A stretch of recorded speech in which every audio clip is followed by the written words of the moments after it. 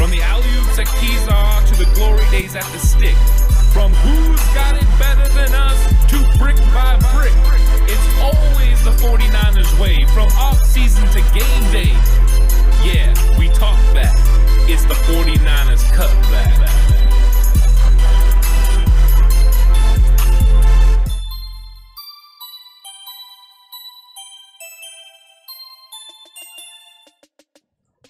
It's 49ers Cutback Podcast time. It's true. We got a big topic today the Alex Mack difference. Alex Mack plays center, so I automatically like him. That- That's that's the only requirement, huh? That's it. We'll just play it well. Oh, okay. Does he play it well? Why don't you watch the video and find out? You know what? That's a really good idea, Horace. And while you're down there, all, while you're watching this thing, don't forget to hit that like button and that subscribe button. Share it with the other 49ers friends, as well as the rest of the NFC West and your fans of the NFC West that you know, because they should start to get a little, uh, little concerned because this guy here is special. He really is. I'll just let kids watching this remind them offensive linemen are the best looking and the smartest guys on the team.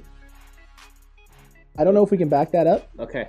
I don't, I don't know if I we mean, can. he's going to make a difference. I don't know if it's in the looks department, No. but it's definitely in the look on the field department because That- he's going to be able to put people in the right positions, and he has a great technique when he's you know when he's playing. And these film clips are going to show that, which is going to be very fun to watch and dissect and just see where the 49ers are headed because Alex Mack played in the Kyle Shanahan system. And so we get to see clips of him actually playing in the system before he lines up and takes a single snap as a 49er. Also, uh, fun bit: every single one of these clips is from the Super Bowl in 2016, and every single one of them is him playing on a broken leg. With a broken freaking With a leg. broken freaking leg. He put the offensive line on his back, Horst. Can you believe it? That's impressive as all heck. Absolutely. Let's check these clips out. And what we got here for this first one? Yeah, so this first one, you're actually going to see uh, him pick up the linebacker. Um, pre-snap, he actually picks up that the linebacker's going to be blitzing. Yes, the tackles do struggle and give up the sack, um, but interior-wise, you see the the guards and and Alex Mack himself do a great job of recognizing what the defensive lineman in front is doing and how he's trying to occupy, and then the linebackers coming on the blitz, and they flow completely right. Look at the setup; they're all together, they're all in unison. That's what you're looking for in the interior, and that's been the problem with the 49ers. We don't have to worry about you know the left tackle because Trent Williams is going to take care of business. But what they don't realize is pre-snap, um, Alex Mack actually looks around the the nose tackle that's lined up on him, uh, sees the linebacker, you know, makes the call to the guards that hey, this is going to happen, and then they're all prepared. That is what Alex Mack. That's what he can bring. That's the difference. Is the line calls and the adjustments to the line blocking. Yeah, he's he makes a huge difference out there. For any of you that watched the Seattle 49ers game where their blitzes up the middle kept working, and that's the game Jimmy really got injured in. Um, he's a huge difference in that game right there. He's gonna see the blitz coming. He's gonna be studied up on the opponent, and he's gonna know Kyle's offense like the back of his hand. So he's a huge difference in a couple of those situations, and that's one of them. Because anytime Seattle ran this blitz right here, almost the same one with Wagner, he went flying through untouched, and it probably happened what seven or eight times in that game. Yeah, it many. really hurt him. Like it really hurt the team. No, and and you can't have that. And Alex Mack is going to be able to shore that up. You're seeing it here. Um, here's an, here's another one of run blocking, the zone blocking, the the way he's able to get around in space, get skinny, yeah. gets to the outside shoulder, and just controls the the lineman here in space, not letting him get around him, setting that edge and creating that gap right here for Tevin Coleman to run through. And Ant, you pointed this out in our pre-show meeting. He's actually looking for this linebacker He to is. come flow downhill for him to pick him up. He's recognizing and seeing right here, this guy's all preoccupied with Devonta Freeman here in space. So he's not going to be going anywhere near where the football's going. So he's like, all right, cool. We're just going to make sure you don't make this play at Yep. all whatsoever.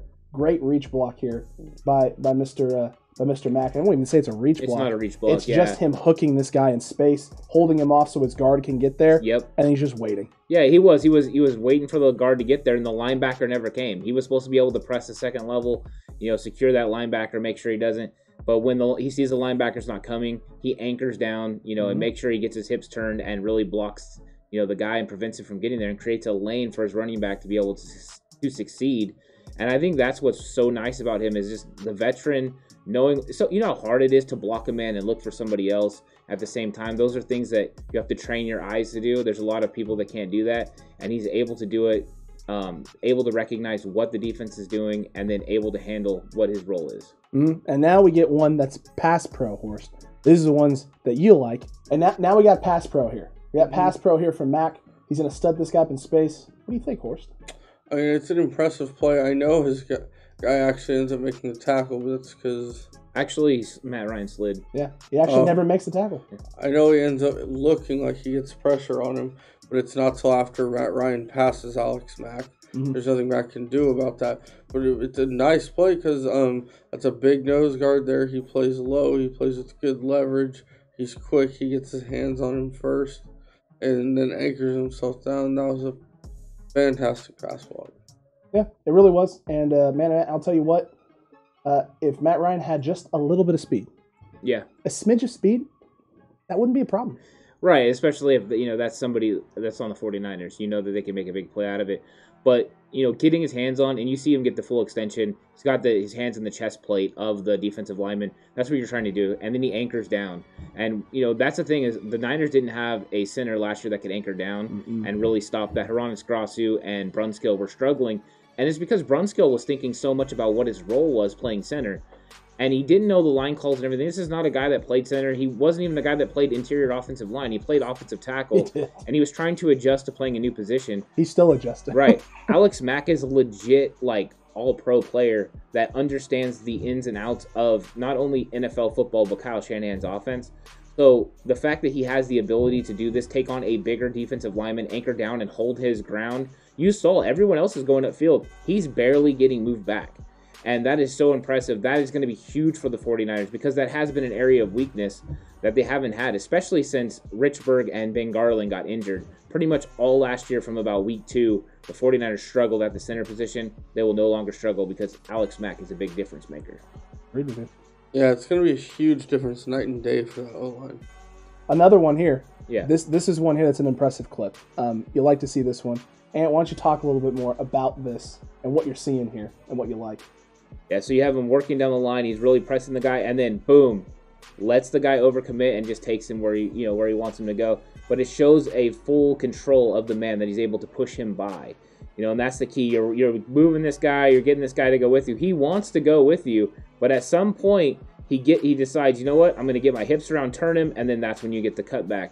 And the read on what the running back is amazing. Freeman does a great job right here, but that's really what you're looking for. You're pushing him, you're trying to get him into that wash and create a lane for your running back to be able to run. It just happened that the run, you know, happened right behind Alex Mack, and you didn't have to push him all the way through, but it was pretty nice. I, I this is actually a very good block and something you see from the other guys on the team. You haven't seen so much from the center, especially last year. You didn't see any of this from the center. They struggled with this uh, particular block, but Alex Mack does it. Um, I mean, basically without even, you know, breaking a sweat. This is nice. Yeah, on a broken freaking leg too. You'll you'll love to see that. Uh, man, I'll tell you what. This was when I was doing film breakdown. This was my favorite part of this. yeah, When I saw that clip and watched that clip, I was kind of like, man, man, oh man, that is impressive. Um, and it's it's the patience he has, right? It's the discipline. He's driving this guy back. He's driving this guy back. He doesn't try and force him to go a direction. He lets him make his choice. Yeah. Am I going to stick this inside and let Devonta Freeman get outside, or am I going to try and close that gap down here and force him to try and make a cutback? The minute he makes his move, he gets his hips around and he says, All right, you've made your choice. Now you got to live with it. And he's going to trust his running back to make the play, and Devonta Freeman trusts his, his line to make the play. And we've already seen, we've already seen, because you've already seen the use. You watched our Juice film breakdown. You saw that. You saw the running backs, how much they trust Juszczyk. Now you get to trust Juszczyk, and you get to trust this guy Mack in space. yeah. I think you do. You trust this guy to be able to put people in the right positions uh, as far as pre-snap, and then after that, you see that he can execute on what he needs to get done. Mm-hmm. And part of it is the run game, part of it's the pass game, but I mean, really, just that intelligence is unmatched. And this block is just shows how impressive he can be in the run game. You can move people off positions. Yes, the zone scheme, you know, allows for this to happen because anywhere in there, as long as there's a hole, Freeman will read it. That's what he's looking for, and he sees the cutback present itself, and he goes.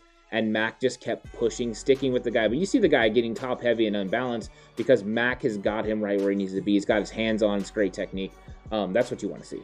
Absolutely. And then this last one here, I thought was a very unique play. And Horace, you can talk a little bit to this if you'd like. Um, but you can see you can see here the recognition by Alex Mack pre-snap. Watch the left guard here in space. Yeah. Sort of just he knows. Left guard knows this center, this guy who lined up as the nose tackle is going to be funneling to the left, and he has a stunt coming around from the outside in. And Alex Mack literally almost kind of ducks the block and is like, "Hey, buddy, hey, man, Yeah. hi, how you doing? They- not going there." he definitely knew the stunt was coming.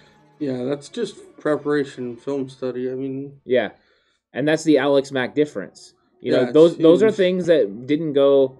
You know, that didn't get recognized last year because of young Daniel Brunskill not understanding the ins and outs of Kyle Shanahan's offense, and you know, basically guys that just aren't as good as Alex Mack playing the position. Mm-hmm. So when you when you get into those situations, Alex Mack will make a difference in getting the the 49ers in the right situation, the right play, and the right blocking scheme to make the right plays.